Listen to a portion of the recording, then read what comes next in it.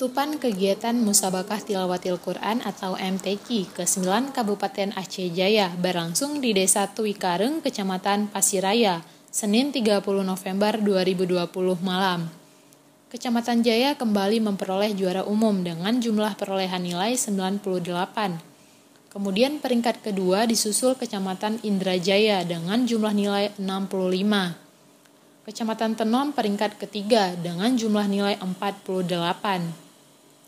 Kecamatan Krungsabe peringkat keempat dengan jumlah nilai 44. Kecamatan Darul Hikmah peringkat kelima dengan jumlah nilai 34.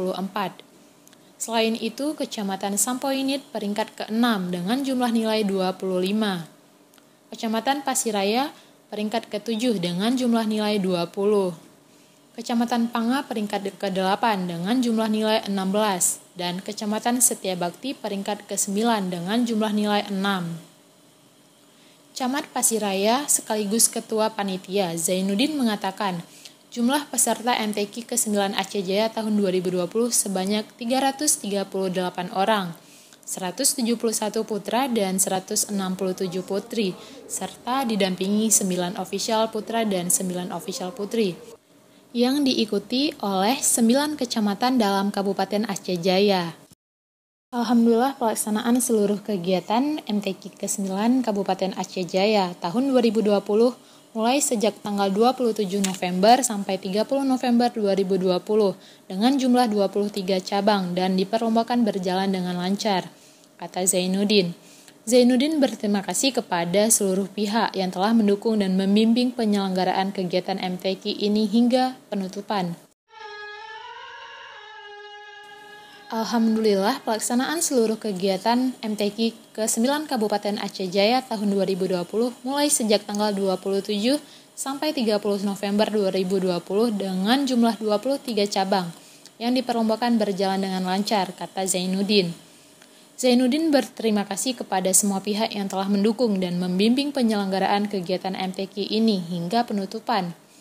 Saya berterima kasih kepada semua pihak yang telah membantu dan mendukung kegiatan ini sehingga terlaksana dengan sukses, ujarnya. Selain itu, ia juga meminta Bupati Aceh Jaya untuk memberi sedikit kenang-kenangan bagi Kecamatan Pasiraya sebagai kecamatan yang telah melaksanakan kegiatan MTQ setingkat kabupaten. Sementara Bupati Aceh Jaya T. Irfan TB mengungkapkan, meskipun sedang dilanda wabah COVID-19, kegiatan MTQ ke-9 tingkat Kabupaten Aceh Jaya tidak menyebabkan kurangnya semangat dari para kori maupun koriah dalam berjuang memberikan karya terbaik untuk Aceh Jaya tercinta ini. Kami atas nama pemerintah Kabupaten Aceh Jaya mengungkapkan selamat dan sukses kepada para pemenang. Terus belajar dan tingkatkan kapasitas sehingga kemenangan yang telah diraih dapat terus dipertahankan, kata Bupati Aceh Jaya. T. Irfan TB mengingatkan, bagi yang belum beruntung jangan berkecil hati, karena kegagalan merupakan awal dari keberhasilan dan menjadi batu loncatan ke depan untuk lebih baik lagi. Ia juga berharap dengan adanya momen seperti ini bisa membuat semuanya semakin bermuhasabah, seperti mensyukuri segala nikmat, dan karunia yang telah diberikan oleh Allah Subhanahu wa taala. Ia juga berharap dengan adanya momen seperti ini bisa membuat semuanya semakin bermuhasabah seperti mensyukuri segala nikmat dan karunia yang telah diberikan oleh Allah Subhanahu wa taala. Kepada para pemenang yang telah terpilih pada MTQ ke-9 ini, ke depan perjuangan sangatlah berat. Jadi harus mempersiapkan diri lebih baik lagi, tentunya. Berharap dengan adanya momen seperti ini